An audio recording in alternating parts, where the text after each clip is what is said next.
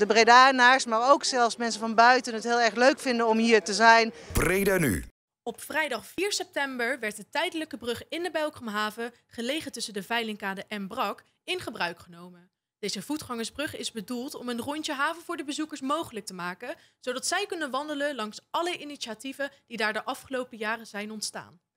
Deze brug is uh, heel belangrijk omdat het mensen uh, de gelegenheid geeft om echt een rondje te maken door dit eigenlijk hele mooie, nu al creatieve district. We noemen het ook echt zo, hè, waar een aantal partijen zich in de afgelopen jaren uh, als pioniers hebben ontwikkeld. En waarin je echt ziet dat de Bredanaars, maar ook zelfs mensen van buiten het heel erg leuk vinden om hier te zijn.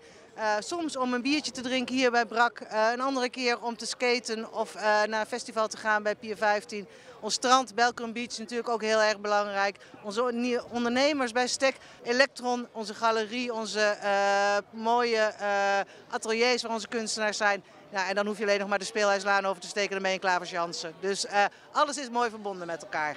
Uh, ja, het is een, uh, een heel goed idee van de gemeente om uh, dit gebied, wat toch al in opmars is, nog toegankelijker te maken. Het is natuurlijk allemaal nog in de tijdelijkheid, dus het is ook een tijdelijke brug.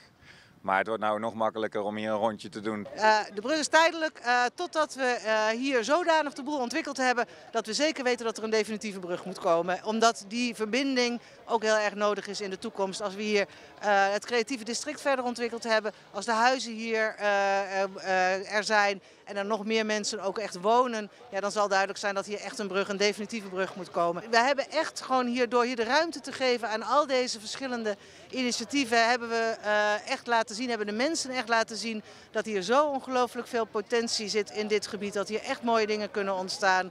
Uh, die verder gaan dan alleen maar wonen. Die gaan over recreëren, die gaan over ontspanning, die gaan over cultuur, die gaan ook over ondernemen. En dat is eigenlijk heel mooi dat dat gewoon heel erg integraal hier uh, is geland. Maar uh, de bedoeling is natuurlijk dat hier veel woningen komen.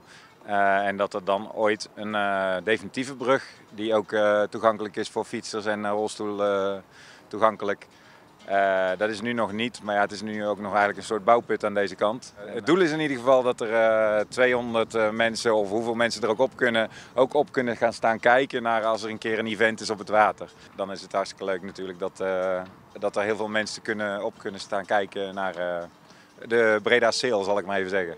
Breda nu.